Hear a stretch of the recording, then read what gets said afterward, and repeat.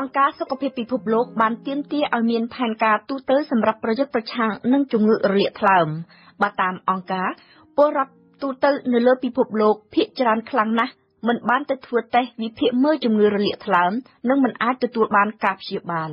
ដូច្នេះជាផលវិបាកពិភពលោកត្រូវប្រឈមនឹងគ្រោះមានមនុស្សរាប់លាននាក់អាចពិវត្តខ្លួនទៅកើតជំងឺថ្លើមអារ៉ាំរ៉ៃជំងឺមហារីកថ្លើមរួចស្លាប់ព្រោះជំងឺថ្លើមច្រើននៅពេលអនាគត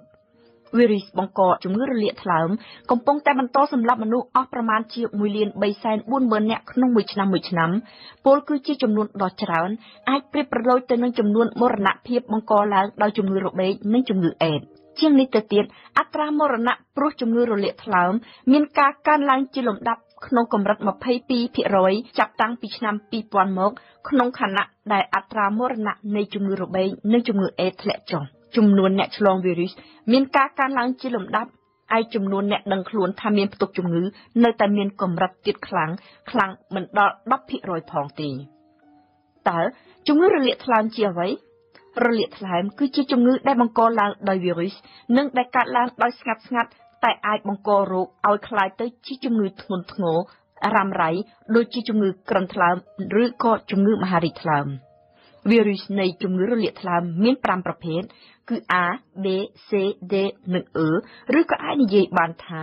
ជំងឺរលាកថ្លើមមាន5ប្រភេទគឺរលាកថ្លើមប្រភេទ A ជំងឺរលាកថ្លើមប្រភេទ B ជំងឺរលាកថ្លើមប្រភេទ C លក្ខនិងលក្ខ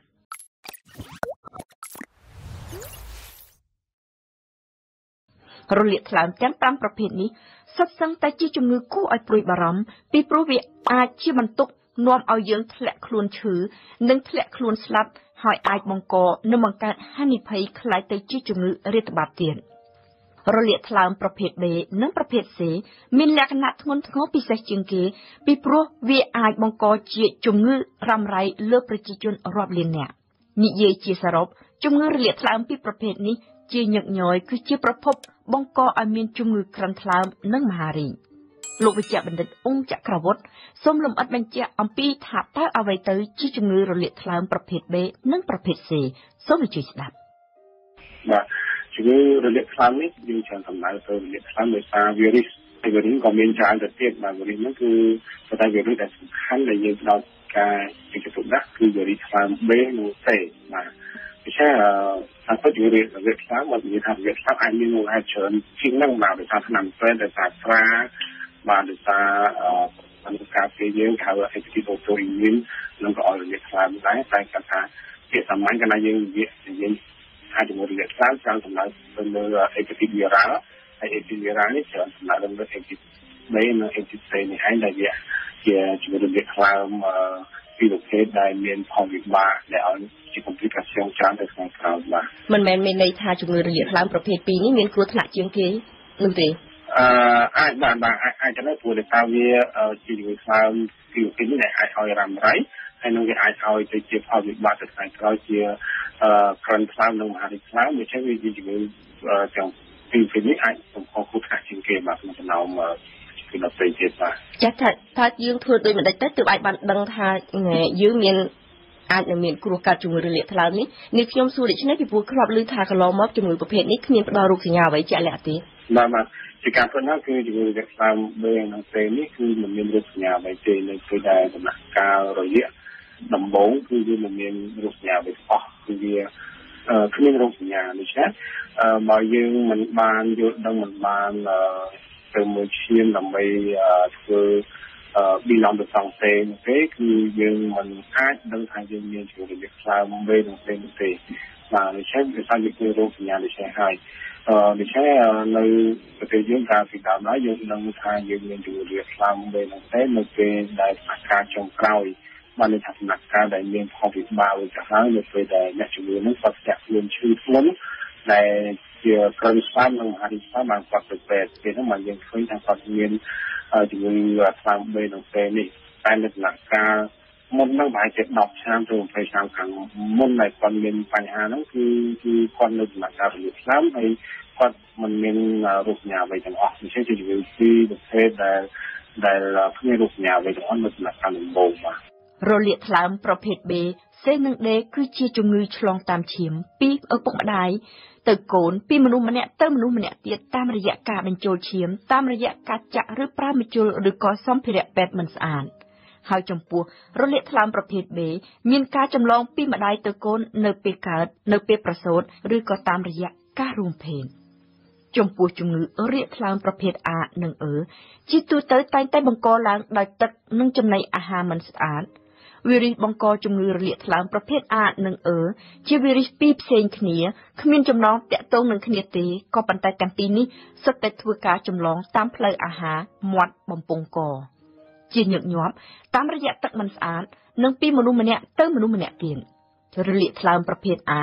ចម្លងតាមរយៈចំណីអាហារមិនស្អាតចំណីអាហារមានមេរោគចំណីអាហារឆៅឬក៏ម្ហូបអាហារចំអិនហើយតែត្រូវប៉ះពាល់ឬក៏ទុកដាក់មិនស្រួល។ ការរីករាលដាលនៃជំងឺរលាកថ្លើមប្រភេទ A ក៏អាចបណ្ដាលមកពីការប្រើប្រាស់គ្រឿងញៀនតាមមាត់ឬក៏តាមការចាក់បញ្ចូលឆ្កាំសរសៃឈាមដែរជំងឺរលាកថ្លើមប្រភេទ A និង E ស្ដែងឡើងដោយលេចចេញជាអាការៈក្តៅខ្លួន មួយភ្លាមរំពេចសរីរាង្គកាយធ្លាក់ចុះខ្សោយបាយមិនឆ្ងាញ់ចង់ក្អួតឈឺពោះពី3ថ្ងៃក្រោយមុខមាត់ក៏ឡើងស្លេកស្លាំងឡើងលឿងល្អោកคล้ายទៅជាដូចអ្នកកើតជំងឺខាន់លឿង។ បើជាជំងឺស្រាលមួយអាទិត្យឬក៏ពីរអាទិត្យយ៉ាងយូរអ្នកជំងឺនឹងបានធូរស្បើយក៏ប៉ុន្តែបើជាករណីធ្ងន់ធ្ងរអាចអស់បន្លាយដល់ពេលវេលារាប់ខែចំពោះបណ្ដាជនរស់នៅក្នុងតំបន់ងាយកើតជំងឺរលាកថ្លើមប្រភេទ A និងប្រភេទ E អ្នកជំងឺភាគច្រើន បានទទួលការឆ្លងមេរោគនេះតាំងតែពីនៅក្នុងវ័យកុមារ ជាទូទៅគ្មានរោគសញ្ញាឯករណីស្លាប់ព្រោះជំងឺរលាកថ្លើមប្រភេទ A និង E នេះជាករណីកម្របំផុតអ្នកជំងឺតែងតែជាសះស្បើយទៅវិញស្ទើរតែគ្រប់គ្នានិងគ្មានបន្សល់ទុកនៅអ្វីជាផលវិបាកទៅថ្ងៃក្រោយឡើយជំងឺរលាកថ្លើមប្រភេទ A និង E ថ្មីត្បិតតែមានអត្រាមរណៈទាបបំផុតពលគឺប្រមាណតែ0.2%ក៏ពិតមែន